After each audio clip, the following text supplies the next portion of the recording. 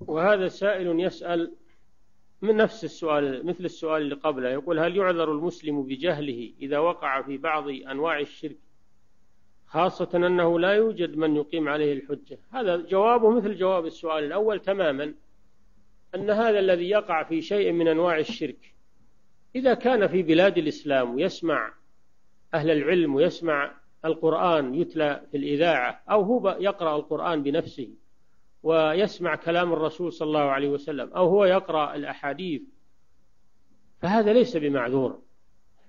لأنه بإمكانه أن يتعلم وبإمكانه أن يسأل. المدارس مفتوحة الكليات مفتوحة العلماء يجلسون في المساجد حلق الذكر موجودة.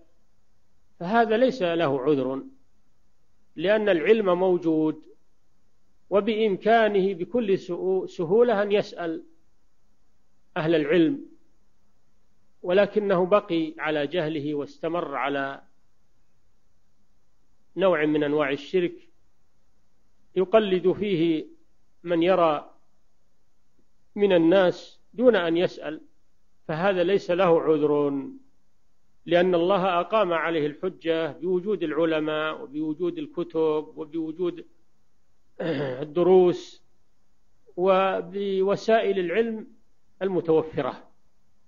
فليس له عذر. إنما لو كان في بلاد بعيدة عن بلاد الإسلام لا يجد من أهل العلم أحدا ولا يدري عن شيء فهذا يمكن أنه, لا أنه, أنه لم تقم عليه الحجة يكون أمره إلى الله. لكن هذا نادر.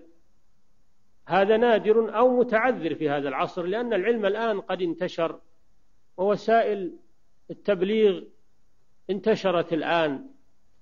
وسائل التبليغ عن الله ورسوله بوسائل الإعلام وبالكتب والنشرات ووجود الدعاة الذين ينتشرون في مختلف قارات العالم.